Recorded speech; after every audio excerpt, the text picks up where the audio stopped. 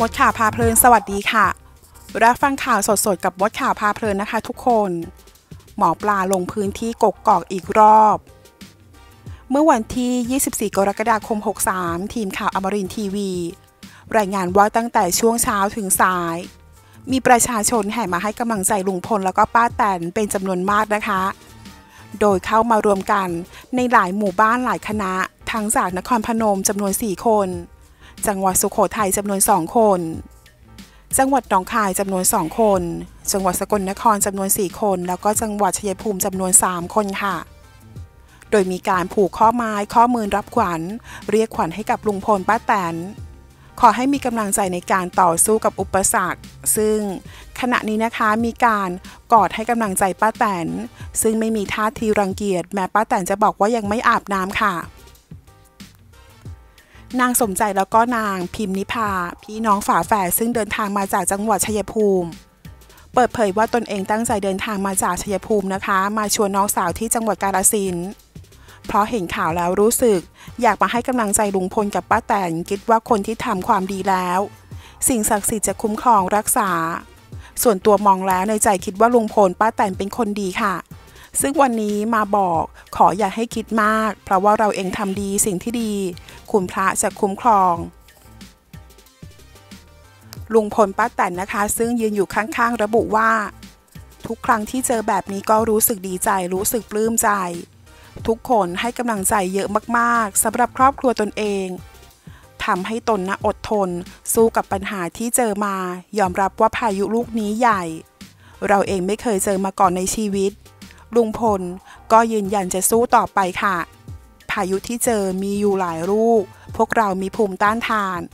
ซึ่งกำลังใจก็คือ ภูมิคุ้มกันของพวกเรา ทีมข่าวเดินทางมาพร้อมกับนายชัยพลวิภา เดินทางมาที่โรงเรียนบ้านกกตูม จังหวัดมุกดาหารเพื่อร่วมกิจกรรมที่โรงเรียนนะคะ เนื่องในวันเฉลิมพระชนมพรรษาในหลวงรัชกาลที่ 10 พร้อมรับประกาศนียบัตร กรรมการสถานศึกษาดีเด่นนะคะ ซึ่งจะมอบให้กับกรรมการสถานศึกษาของ สถานศึกษาในพื้นที่ค่ะ จากนั้นลุงพลเดินทางกลับมาที่บ้าน ซึ่งยังมีแขกเองเดินทางมาให้กำลังใจผูกข้อไม้ข้อมือ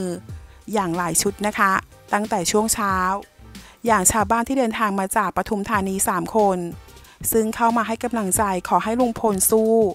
มีการกอดให้กำลังใจป้าแตนจับไม้จับมือ พร้อมระบุว่าคนดีอย่างไรก็คือคนดี ตกน้ำไม่ไหลตกไฟไม่ไหม้ค่ะ โดยวันนี้นะคะ ลุงพลป้าแตนมีการจัดบ้านใหม่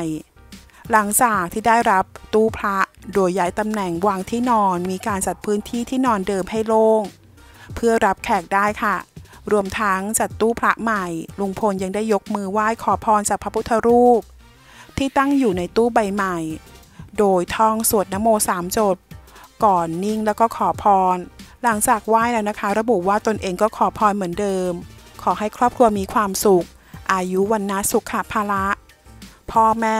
ผู้มีอุปการะคุณให้มีความสุขทั้งกายและใจค่ะ ส่วนเรื่องรับประกาศนียบัตรช่วงเช้า ตนก็ไปรับรางวัลในฐานะที่เป็นกรรมการสถานศึกษา ซึ่งผอโรงเรียนก็เชิญเช่นนี้ประจำวันนี้จึงถือโอกาสจัดตู้พระใหม่ค่ะ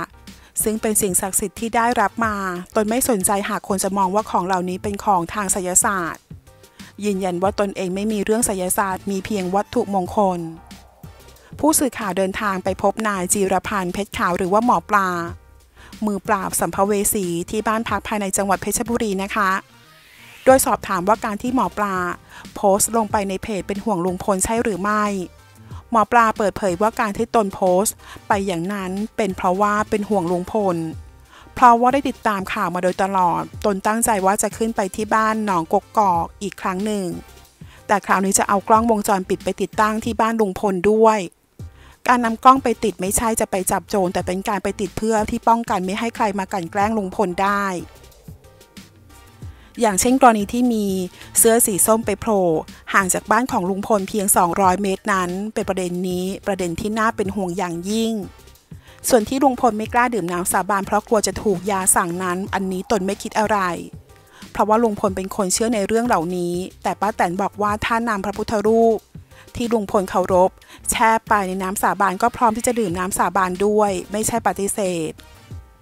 ตนเองขอยืนยันอีกครั้งว่าตนไม่ใช่อยู่ตรงกลาง แต่อยู่ข้างลุงพล เพราะประกาศไว้ตั้งแต่ต้น ตั้งแต่ไปพบและเจอทั้งลุงพลแล้วก็ครอบครัวมาแล้ว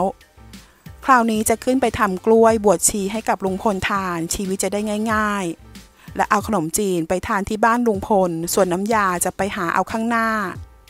ขอขอบคุณข้อมูลจากมุมข่าวค่ะ ถ้าเพื่อนๆชอบคลิปนี้ฝากกดไลค์และกดกระดิ่งติดตามได้ที่ช่องมดข่าวพาเพลินด้วยนะคะ ขอบคุณค่ะ